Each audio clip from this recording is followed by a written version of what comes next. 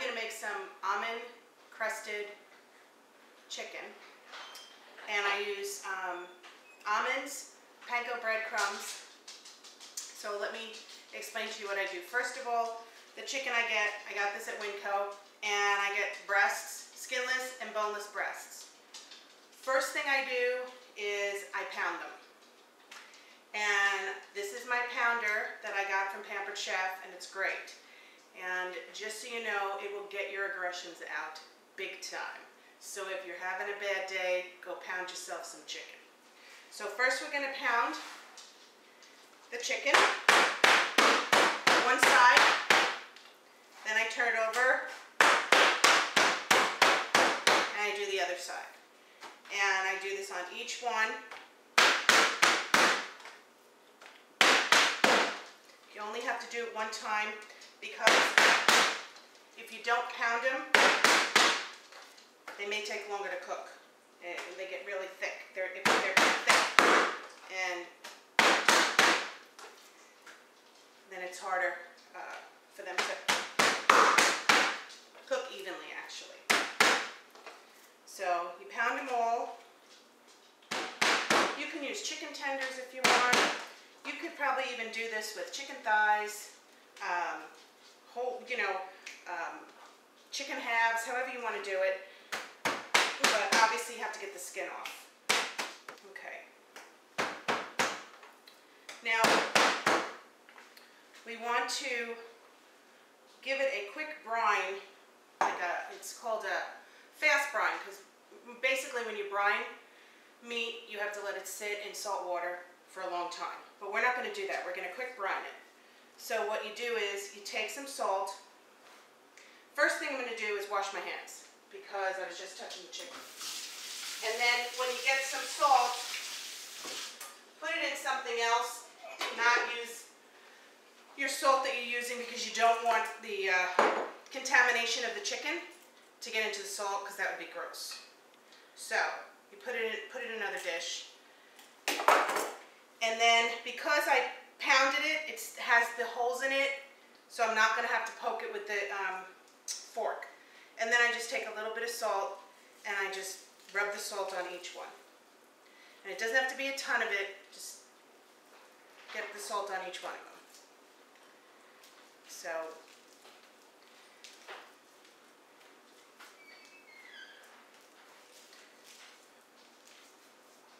But you need to wash your hands before you work with the chicken, and you need to wash your hands after you work with the chicken. And you need to wash the um, cutting board really good. Otherwise, uh, you wash it with bleach. Okay, so once I get all these done, then I can start the breadcrumbs. What I do is I take the panko bread, breadcrumbs and I brown them. You don't have to, but I do it because it tastes really good. So once I'm done with this, um, I will show you how to do that, but um, I will be back in a minute. Okay, I got the breadcrumbs in the pan and I put um, some butter in the pan. I put a, a whole like stick of butter in there and uh, but you can do however you want. Like I said, I don't measure stuff. So um, I put the butter in the pan with the panko breadcrumbs and I'm browning them right now. Okay, so I have browned the breadcrumbs. Um, they're still cooking actually a little bit in here and you can see they're um, slightly brown. You can do it without browning them, but it's really good when you do brown them. Okay, so now I have this, and what I'll do is put this in a bowl. And then I'm also going to take my almonds that I, I did some of these uh, when I made it last time, but I'm going to show you how, how I do them to get them like this. And this may actually be enough. But I take, I go to Winco and I get the bulk almonds, the salted ones. And then put them in the Cuisinart.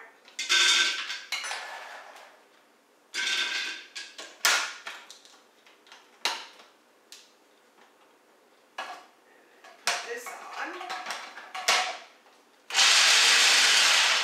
And you, you don't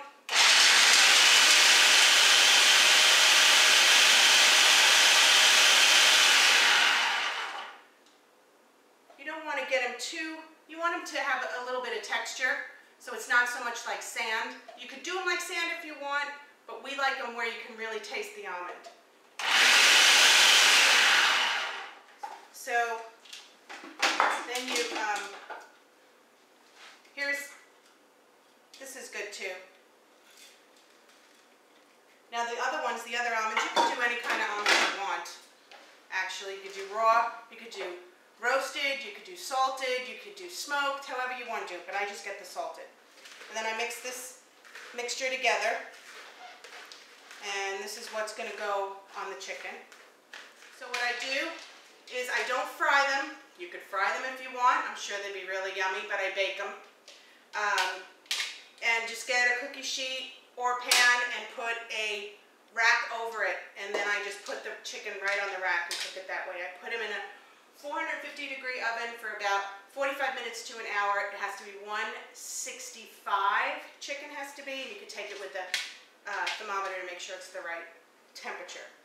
So first I start out with my flour. And these that I have right here, these white dishes, these I got from Pampered Chef and I just love them. So you start out with your um, flour, then I put it in my egg mixture. And then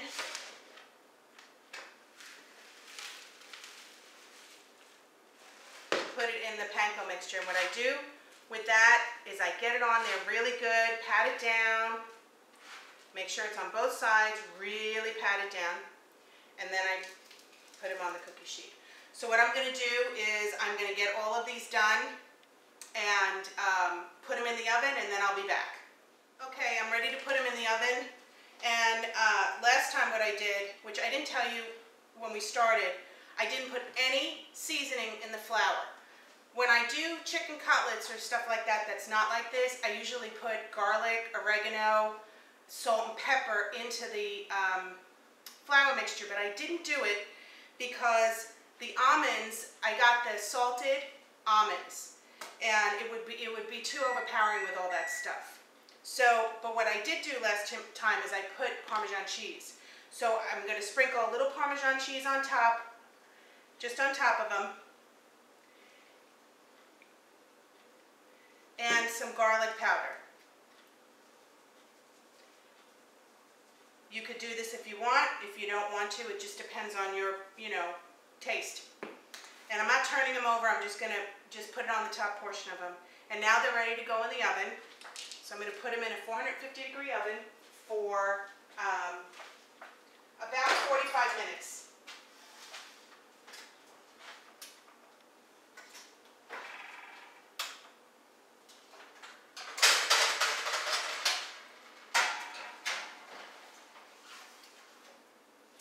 And just so you know, before you put stuff in the oven and you turn the oven on, you probably should make sure there's nothing in the oven so I got to take this stuff out. We're going to set the timer for about 45 minutes and we'll see where we're at.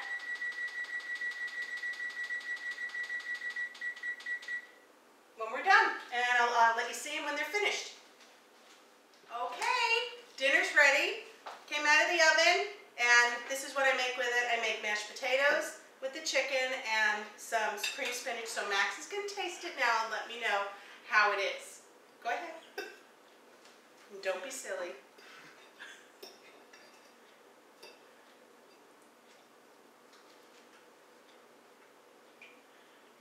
Is that good? Okay. Best chicken ever. Boy. Okay. That was it. We're going to come back. We're going to do some chopped liver next. See you in a bit.